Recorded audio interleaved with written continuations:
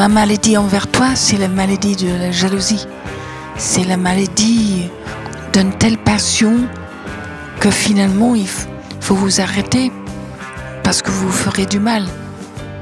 Vous ne supportez pas que la personne voit des beautés des autres fleurs et vous vous sentez mauvaise dans le cœur.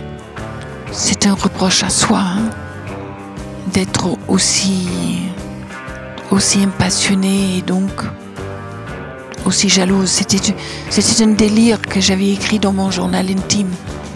Et évidemment, c'est le morceau que Étienne a trouvé alors que je voulais bien le cacher. Je ne voulais même pas le mettre dans mon journal parce que je trouvais que c'était que je n'étais pas dans une très jolie lumière. Mais évidemment, c'est quelque chose peut-être pour lequel il avait les mêmes, euh, les mêmes souvenirs. Je pense que c'est vrai à propos de toutes ces chansons, en fait, concernant lui et moi en tout cas. C'est les passions. C'est les passions d'aimant.